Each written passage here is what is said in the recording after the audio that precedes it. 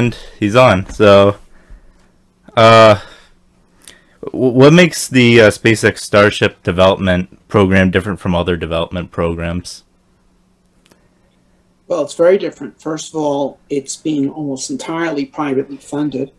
Um, second of all, um, the ambition behind it is tremendous, uh, which is to create a fully reusable heavy lift launch vehicle. Uh, moreover, that runs on a, a, propellant that can be made on Mars, so it can fly to Mars, and it can be fueled there and fly back. Um, and the third thing is the uh, remarkable speed with which this development is occurring.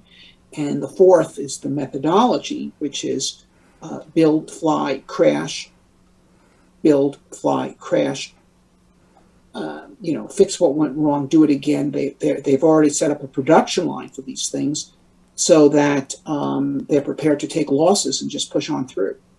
Uh, this program is more reminiscent of the early days of aviation than the space program, uh, at least since the dawn of the space program. And uh, what's your thoughts on the uh, program right now? What they're doing with Booster Three? Well, uh, I, am not exactly sure what they're doing with Booster Three, uh, but clearly, if the thing's going to make orbit, they have to uh, uh, get the super heavy to work, not just the upper stage, the uh, Starship uh, problem. And um, um, so, who knows? But it, it, certainly looks like they're preparing to be able to fly the two of them together this fall. And what's your thoughts on the idea of provide of applying air breathing propulsion to the Starship Super Heavy system?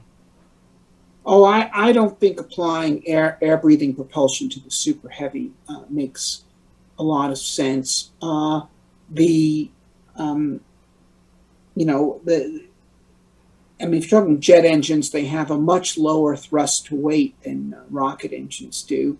And the super heavy needs thrust, thrust we trust. And, uh, you know, an air breathing system would be a different kind of system, actually. Uh, air breathing system might be interesting um, for uh, an upper stage system like a Starship or the upper stage of the Falcons uh, to enable them to do long distance hypersonic flight. Um, because the first stages of the Falcons or the Super Heavy take you right up into that regime. And if you wanted to uh, uh, do long distance surface to surface, you might consider such a thing, um, or else just do ballistic flight as as as they're doing. Or I mean, it could be an alternate type of system. Uh, I, I, don't think the Starship needs it, but uh, someone else might go for it.